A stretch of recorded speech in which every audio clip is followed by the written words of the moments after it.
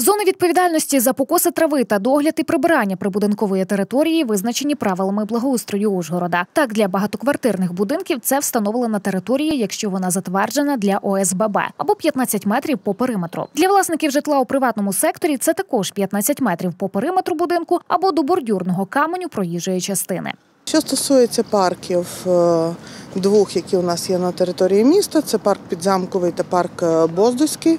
Е, Це зона відповідальності якби органу місцевого самоврядування. Е, Сквери також це орган місцевого самоврядування.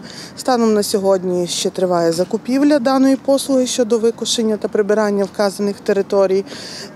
На жаль, маємо таку ситуацію з березня місяця. Ця процедура закупівлі у нас йде в оскарженні. Будемо чекати рішення антимонопольного комітету, після чого буде е, завершена процедура закупівлі.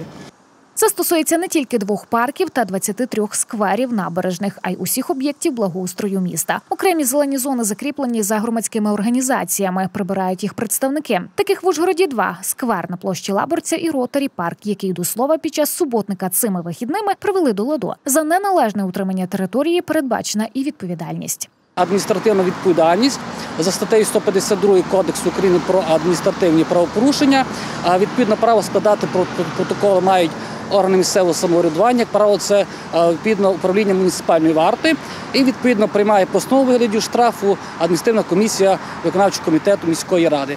Штраф коливається відповідно до 1360 гривень. Це на громадян, а на посадових осіб до 1700 гривень.